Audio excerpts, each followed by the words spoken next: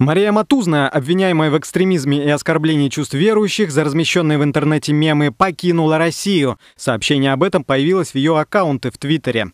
Из записей следует, что сейчас Мария находится в Киеве. При этом она отмечает, что не планирует просить у властей Украины политического убежища.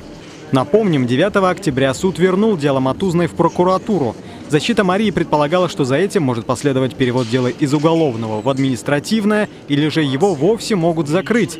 Мария получила временную отмену подписки о невыезде, чтобы посетить Москву для съемок на телевидении и участия в конференции. Как отметил ее адвокат Роман Ажмегов, разрешения покинуть страну у нее не было. Если Мария вернется в Россию, то, скорее всего, ей грозит заключение в СИЗО.